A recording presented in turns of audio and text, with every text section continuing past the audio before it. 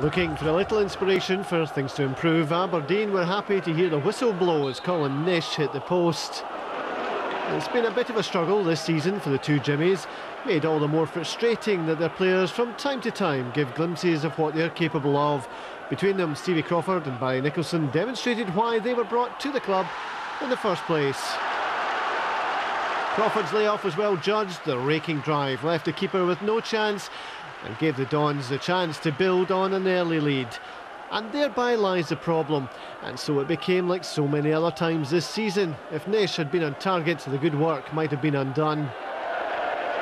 Nish, of course, looking to fill a Boyd-sized gap in the Killie attack. Richie Byrne came close to giving his side added security, inches away from a second for the home side.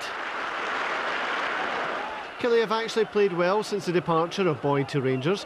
Gary Wales skipping past the first challenge, but not the second, which inevitably left the referee pointing to the spot. No real complaints as Byrne caught the leg of Wales. Steven Naismith made a competent job of the penalty kick duties. Naismith is the latest Kilmarnock player to catch the eye. And Killie will want to hold on to him for a while yet. All too familiar for Aberdeen, I'm afraid. Brought back level after taking the lead. The last home win was back in October against Dundee United. The home comfort's hard to find as Jimmy Smith discovered. Credit to Alan Combe for the save. Aberdeen only too aware of the difference between drawing and winning games with six draws at home this season.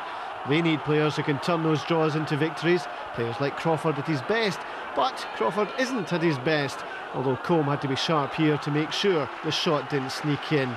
The gaffer knows how important his keeper is, and there was concern for both managers when Byrne and Combe came together.